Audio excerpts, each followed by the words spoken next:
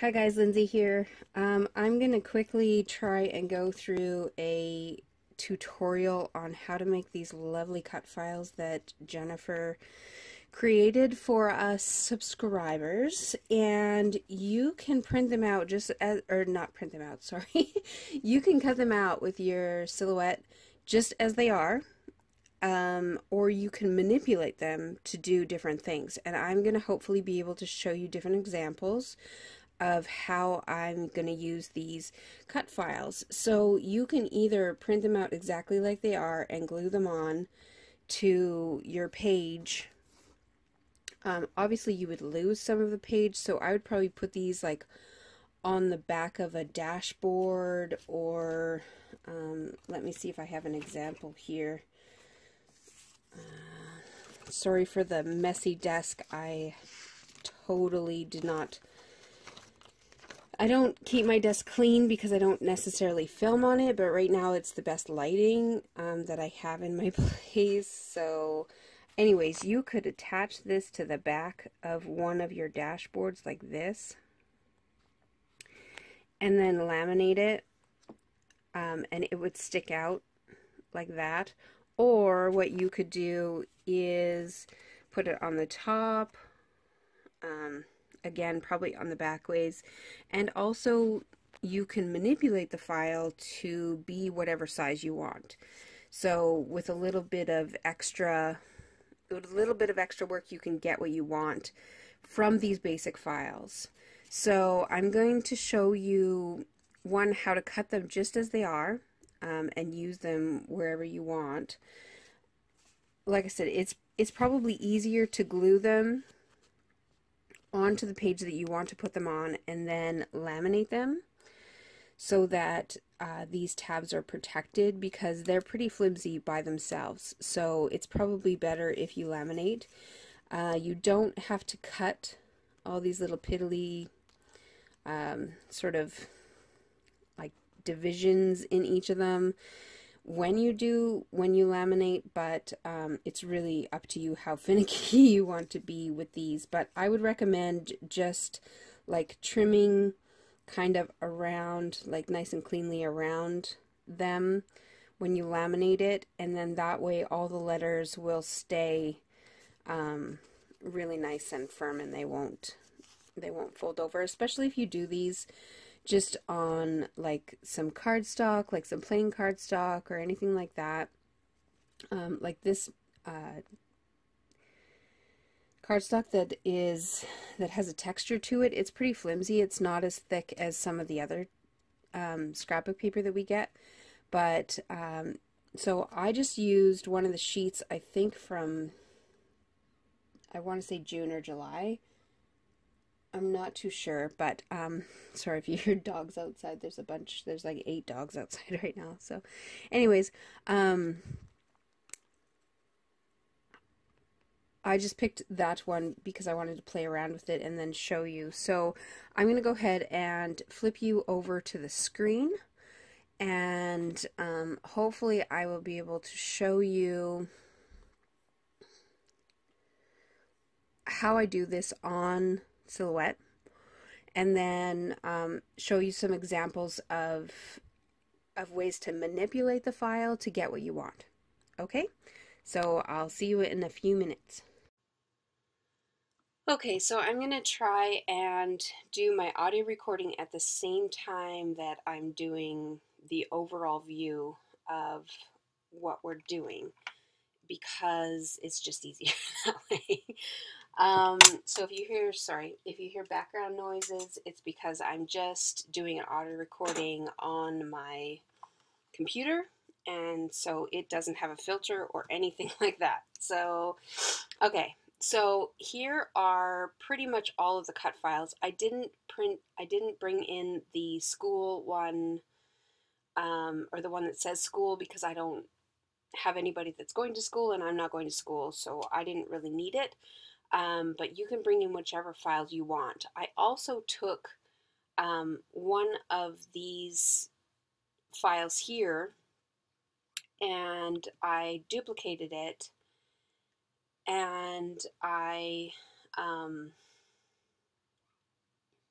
sorry, I duplicated it and then I deleted the 2017 and then I took this one and duplicated it and just cut out the month part and then I merged the two files together to create just a month one because I do like one that just says today and I like one that just says month.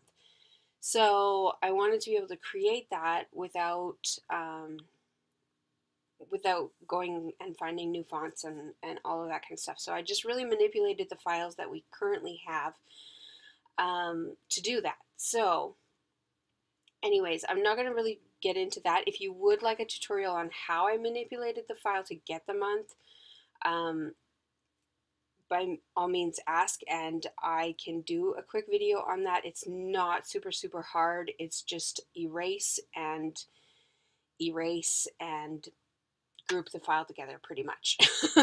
so, um, so what I'm going to do now is show you how to print your um, headers just as they are. So I've already printed today and month, so I'm not going to. By the way, anytime there's a cut file outside of your cut lines, which is the red line that goes around here, um, anytime that they're outside of that, it will not try and cut that. So if you want to play with as many as you want and keep the file open, you can totally do that. So that's why you can see all of the files on one side and then my cut my cut file is over here or like where I'm going to be cutting is over here. So I'm also using a 12 by 12 sheet of paper and I didn't change that because I'm not going to be using the whole thing. I'm just going to do a couple and then we'll go from there. So I'm going to do one that says um, plan. I'm going to use the plan one. And I'm going to use the work one maybe. So you can, as you can do as many of these images as you want. When you actually get them from Jennifer, they are grouped together. So when you select the file, if you right click on it, you can select ungroup and it will ungroup them. And then if you click somewhere else to deselect them all, then you can click on just the one you want and move it um, so that they're not all connected, that they're just connected to themselves and not two or three other pieces. Um, it's a great way though to have them when you first get them, but it's not necessarily necessary because you're gonna you're gonna use whichever ones you want, right? So I've just taken them all and made them separate. So um, for for this purpose, I have taken my silhouette. Now it's going to sync it's going to want to sync. And as you can see, when you do that, when you say you want to send it to your cut file after you've chosen your two pieces, you can see now that there's a red line around everything. That's where it's going to cut. If you've never cut on a silhouette before, that's how it's going to cut. If that's not how you want it to cut, then you have to manipulate it further in order to produce what you wanted to cut. So in other words, you'll have to add your own cut lines. But for these files, because they're just black outlines, it's just going to choose the outline of your um, piece. And so wherever it's black, it's going to cut directly around that. And you also don't have to print these cut files before you cut. You can just directly cut onto whatever you want because otherwise all you're doing is printing black. So, and you really don't want that. So all you got to do is make sure that your files are inside the gray line and also inside the uh, the red line to make sure that your cutting is going to go fine. You can go into adjust your cut settings. Now this is it's really every machine is different okay um, it's hard to tell which if you have already played with your silhouette, then it's great because you know how it's going to cut when you want to place when you want to make a sticker. You know how it's going to cut when you want to use cover stock. You know all of that kind of stuff. Um, I know my settings, and you can try that, um, but it may or may not work for you. It depends. So I've chosen the heavy cardstock one. And my silhouette ratchet is set at 3. I think it is. And so that's the little thing on the actual blade that you have to change. Um, I never change that. So it's always set at 3. And then my speed is at 1. And the reason why I have it at 1 is because the faster it goes, the more likely it is to make a mistake. So generally when I'm cutting, and because I'm not cutting bulk things, like some people cut stickers for a living, and sometimes they set it at two or three or four or seven, I don't know. But because they want to cut a little bit faster, I would prefer to have clean lines, so I cut slower, which is why my speed is set at one. My thickness I have set at 33 uh, just found that that's a good thickness for cardstock and I don't need to do a double cut with that thickness. I don't need to do track enhancing. I don't need to do anything else. So at this point, now I'm going to flip back over to my handheld video and show you guys how to um, how to load the paper into your silhouette, and then how to cut. So basically what's going to happen is I'm going to load it in, and then on this screen here, all I'm going to do is hit send to silhouette. So I'm not going to jump back in and hit record on that part. I'm just going to, um, I'm just going to go ahead and hit send to silhouette. So I'll let you know when I hit that button. But at this point, I'm just gonna I'm just gonna cut plan and work, and I'm gonna cut it on the same cardstock that I showed you before, that blue, and we will go from there. Okay. Hi, uh, so this is where we're at. I have put the scrap of paper onto the cutting mat. As you can see, you can see the cutting mat through the already stuff I already did and I just pressed it down uh, so that it was nice and clean. And sorry I'm trying to do this one-handed so uh, so I've lined up the outside of the cutting mat with the uh, cutting line or the line guide I guess it is. And then I'm gonna hit load cut mat on the thing and it loads it in. So now we're ready to hit cut and as I said before I'm just going to go ahead and hit send to silhouette and now it's going to cut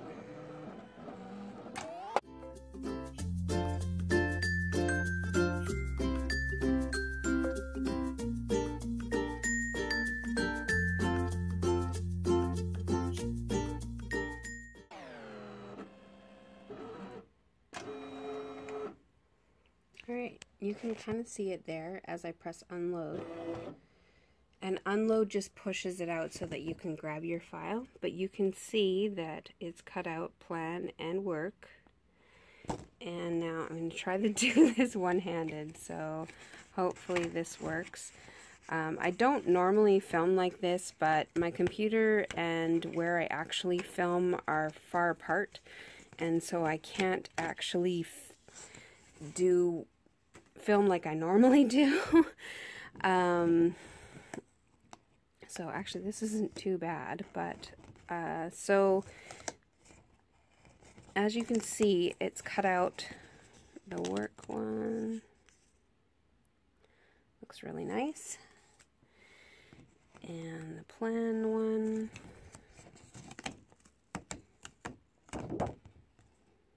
There we go. And all these little pieces here, before you use your cut mat again, just remove them. Uh, they just chip off with your fingernail or whatever. I have a little tool, but um, I'll, I'll remove them before I do my next one. Um, and then, yeah. Uh, so I'm going to put you back on the screen, and we're going to go back over, or we're going to go over some of the ways that you can manipulate the file um, to make them whatever, these things whatever size that you want and to conform to if you don't want just one of these little tabs that you have to glue on, you can actually use this to print your whole page or to cut out your whole page from from some cardstock. So we're going to go ahead and do that and I'll probably use um, some of the planner cardstock this time uh, for that just so you can see uh, what I need to do. So um, the first thing you're going to want to do, and I probably won't do this on camera because it's pretty easy, is just measure the sheet of cardstock that you are actually going to use so that you know how big, um, how big Sorry about that. Um, my phone said I've reached the maximum amount of time. So, um, anyways, what I was going to say is that you you want to measure the cardstock that you're going to be using to make sure that it's large enough for what you're wanting. Now, the bookmarks that I make, I don't necessarily need them to go all the way down to the bottom, and but I do want them to stick out on the top. And the cardstock that we were that we're going to be using, um, I'll have a measurement for that when I get back to the other screen but um, I'm just going to measure it off camera and then I will see you back on the silhouette screen. Thanks. Okay, so we are back on this screen with the months and everything and I'm going to go ahead and show you how to manipulate the files to get um, anything you want really. It's, it's really up to your imagination what you want. It's just a matter of manipulating the file to get what you want. So uh, the first thing I'm going to do is I've measured the planner cardstock and it's 8.5 by inches tall by 6 inches wide. So we're going to go ahead and change this to reflect that so that we know how much room we have. So if you go up here to the this little thing here that says open the design page settings window and click on that you're going to change your width to 6 and you're going to change your height to 8.5 and just hit enter.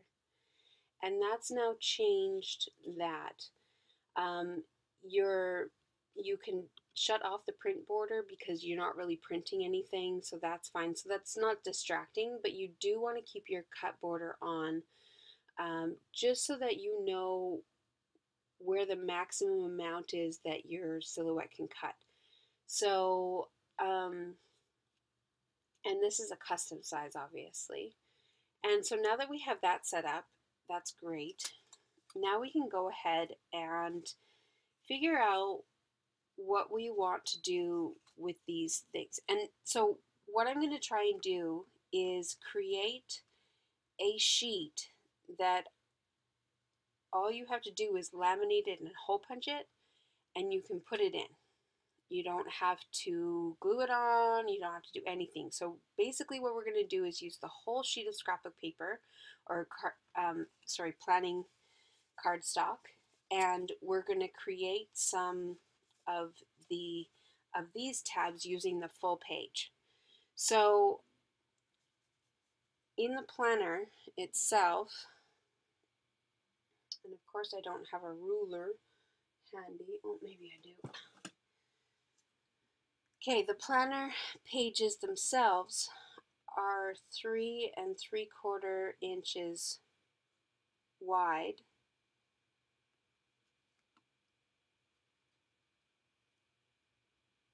by six and three quarter, approximately six and three quarters inches tall. But we also remember want to have it stick out the top as big as you want. So if it's six and three quarters to the top, and I want it to stick out about three quarters of an inch, so I really want my top mark to be seven and a half. Okay, so I'm going to do the today one just to show you.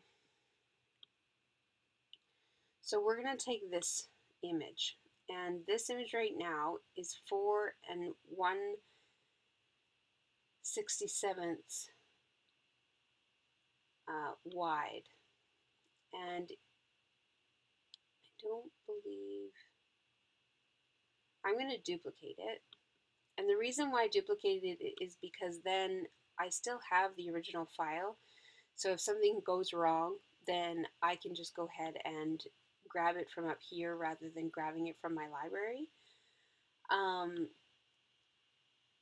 oh, and if you need to know how to uh, import to your library, if you just go in and create a new folder or even just go into your library, you can select your files um, like have them up on the screen as well. I don't have them up on screen at the moment, but ha have your files selected on the screen and then just drag and drop them into uh, into a new folder or into wherever you want to put them. Some people have specific folders. I just created a regular folder. I don't really need, um, just for this purpose, I didn't really need to have to have anything special. So um, so with this file here,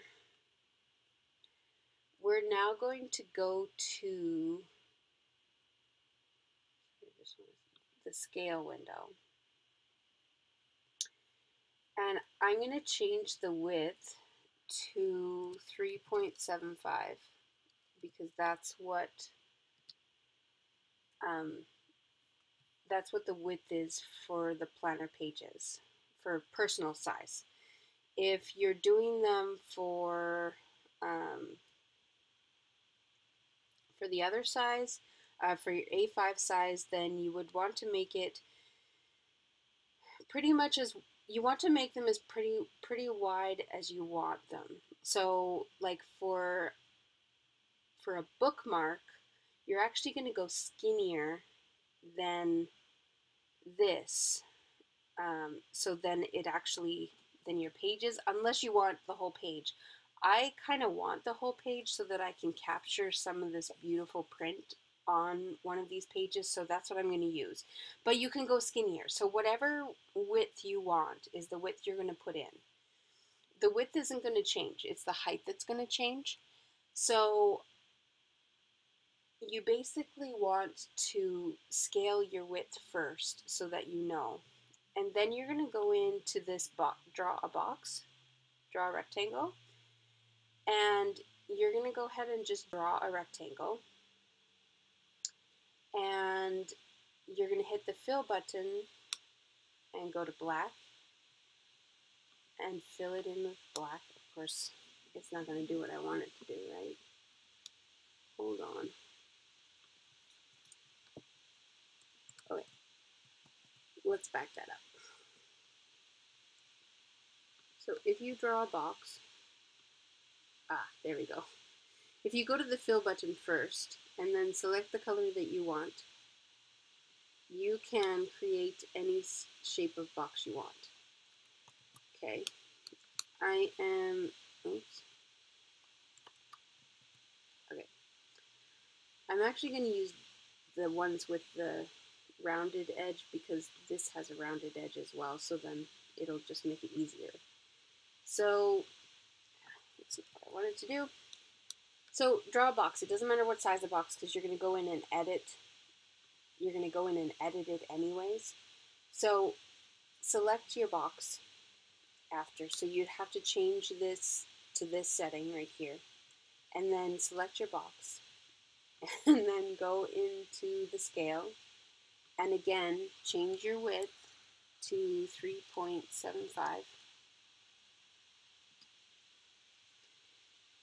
and then place it over top of your today file. Okay. And then what you're going to do is this part here, you kind of have control over, but you kind of don't.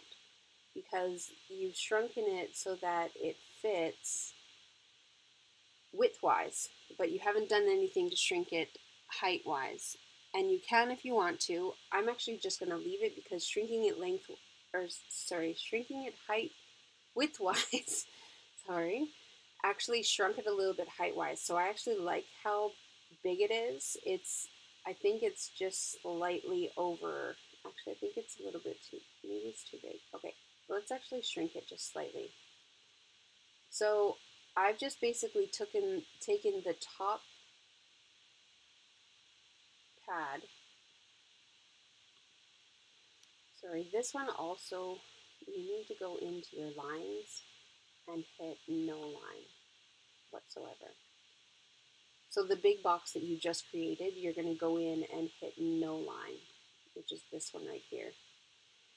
Okay, so now that you've done that, your today, we shrunk it a little bit, and you can move it off and just even see, like if I put it by this ruler, I wanted it to be three quarters of an inch, which it is.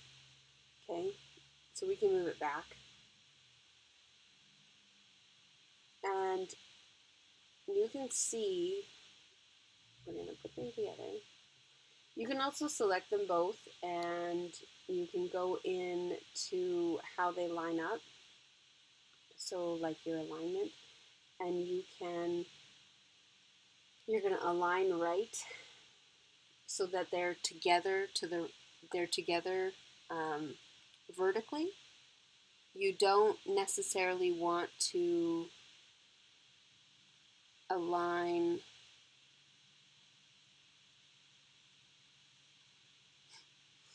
sorry there's something going on outside um, you don't want to align any other way because it will merge the two sort of together you'll it'll disappear like I'll show you if you aligned left or sorry if you align yeah align to the right or you can align them to the center I should say yeah the center will center both of them and then, um, but if you did the align vertically and you did that, you can see that it disappears. So you want to definitely do it horizontally. Basically look at where the line is. So if the line is this way, it means it's going to move this way. Or sorry, it means it's going to move this way. And if the line is up and down, it means it's going to move this way when you align them. So we've done that. Um, I've also noticed that the edges here are just slightly smaller, so I'm going to try and make them match. So these little points here are to make your corners smaller so that they match. You see that a little bit corners, they match a little bit better. And okay, so now that that is done,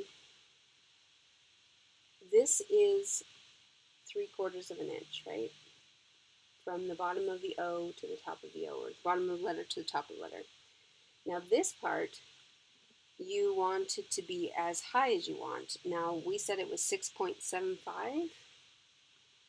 So we can go in and change the scale of that to 6.75.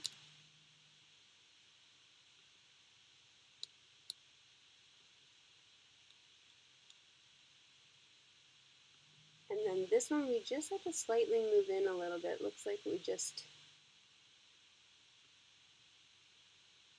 want them to match up so that when you merge them, they're, they're just one complete cut file. So you can also zoom in just to make sure that there's nothing sticking out on either side. It looks good, right? So now um, you're going to want to select everything. So just click and drag so that it selects both the today listing and your big block. And then you're going to right click on it and hit group. So that makes it all one piece, which is great. If you wanted to do this again, before you merge the two files, you would click on this one and duplicate it. Okay, so now we've duplicated that block. So I'm going to put it over here and I'll zoom back out so you can see what I've done. Oops, that's too far. Okay, so what I've done is I've basically taken this block that I want to use in the future to make some of these other ones into a full page. And I'm going to put it up here because remember, it doesn't go anywhere but where it's cutting. If you want to save Okay, so now we can go in and select these two and hit group. And if you want to save more of this page, you can now move this around wherever you want it. So if you want this to cut like way up here, go right ahead. If you want it to cut down here, if you're wanting, if you know where you want it to cut because of your image or because you're looking at your sheet, like I think of like, I don't know, approximately right there is where I want to cut. So we'll see what that does. But I'm just looking at the sheet with the sunflowers on it and I want a little bit of the sunflower, the big sunflower, but I also want the other colored uh, flowers as well. So I've kind of moved it over just slightly from the edge. And so there we go. So now we can go ahead and go to the cut file, but look, oh, it's got more than one thing. So what we're going to what's that grouping got rid of that, but I guess not. So let's go back here. Okay. Take this file. We're going to weld it together. That's what you need to do. So if you weld it together, then there shouldn't be, there should only be one cut line. Let's see if I get it. Yay! Only one cut line. Okay, so see it changed the color of the cut line, but that's fine. It doesn't matter. It will cut um, whatever the red does is what it will cut. So you can see it's going to cut all around the today, and then it's going to cut this big sheet out here so that you can hole punch it and stick it in your book. Now, if you wanted to hole punch outside of this, so if you didn't want to hole punch into this, you wanted to hole punch out here, you would just make this skinnier in order to accommodate the hole punch file, uh, or the hole punches. And then what you would do is um, when you laminated it, then you would just hole punch into the lamination, which would be over here. So you could do it that way as well. Um, it's really up to you how you want this to be. I'm just going to cut it just the way it is, um, just so I can show you what it looks like inside, um, inside this once we hole punch it. And uh, so I'm just going to go ahead and load up the paper and I'll, I'll uh, see you in that uh, next section. Okay, so I've gone ahead and loaded my cut mat and now I'm just going to hit start or send to silhouette and I'm going to go ahead and have it cut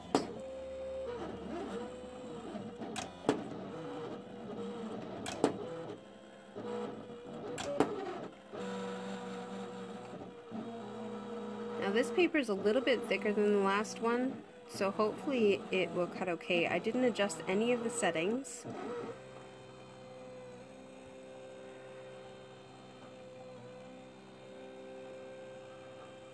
And I always got to make sure there's room behind your silhouette for this.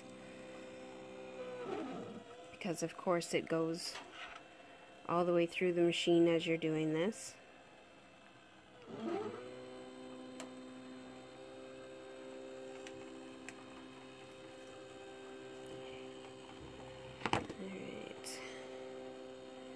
So it's going to finish cutting and you can see the cut file or the cut line right there as it's cutting.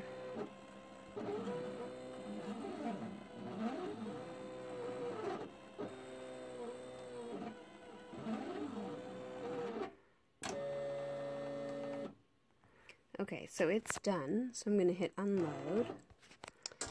And I don't know, eh, you can kind of see it in the camera where it cut out the today. And I'm going to go ahead and peel it. I'm going to peel this part off first. Okay. So there really isn't much left of this one, really. so probably going to throw that away. But um, if you used a bigger piece of cardstock, like say you wanted to use one of the the scrapbooking cardstocks um, that you can get in the scrapbooking kit or just as extra, then, sorry, you'd be able to end up cutting more um, than Oh, I almost got the ladybug right in the oh. uh, so that's what it looks like, which is cool. You can see my messy desk up there. um, so I'm just going to go ahead and hole punch this. And we will put in and see if I can do this one-handed. Do, do, do. Now, it doesn't quite line up where I wanted it. Okay. So that's the top of the sheet. So I'm just going to line it up where the top of the sheet top of the sheet matches this hole. So right there. I must have just done my measurements just slightly wrong. But that's okay. It's all about playing. Anyways, I got all the holes regardless, as you can see there and I'm going to open this up, which is really hard to do one-handed because you have to push both of those, and I'm going to slide it in. So now you can see, as soon as it focuses, there we go, that it is at the top of the page. It's a little slightly down a little bit more, so you can play with your settings a little bit if you know how big you want it to be then you can make sure that it's that that it's that height um, in total. It might have shrunk a little bit when I when I did uh, this part of it, and then I didn't compensate down here. so that could be why it's shorter. But you know what? Shorter is fine because this is a bookmark anyways, right? Like you're not actually using this for anything. So um, unless you are, and then you'd want to make sure that you do um, do some measurements and then just add slightly a little bit because you can always cut a little bit off manually um, but you can't add any on so anyways there you go and there it says today and if I close up my book you can see that the today sticks out right there. You could also do the same thing with these um, with this cutting the whole sheet with uh, these tabs on the side, you would just manipulate the file so that it's turned and then put it wherever you wanted it on your larger sheet. So I hope that helps and I hope you really enjoyed that and I will see you in my next video. Bye!